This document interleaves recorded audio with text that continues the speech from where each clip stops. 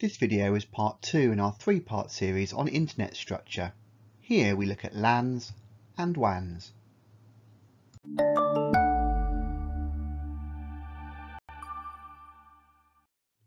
So networks come in many shapes and sizes, and each type of network falls into one of several categories.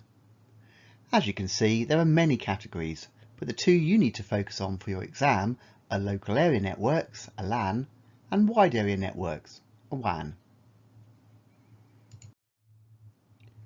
A local area network is any network that covers a small geographical area, typically located on a single site. All the hardware for a LAN tends to be owned and controlled by the organisation using it. LANs are typically connected using UTP cable, fibre optic and Wi-Fi. Your home network and all the devices you have in it make up a local area network. A wide area network or a WAN is any network that covers a large geographical area. When multiple LANs physically located in different areas are connected, they form a WAN. The infrastructure that connects LANs to form a WAN typically is leased from telecommunication companies who own and manage it.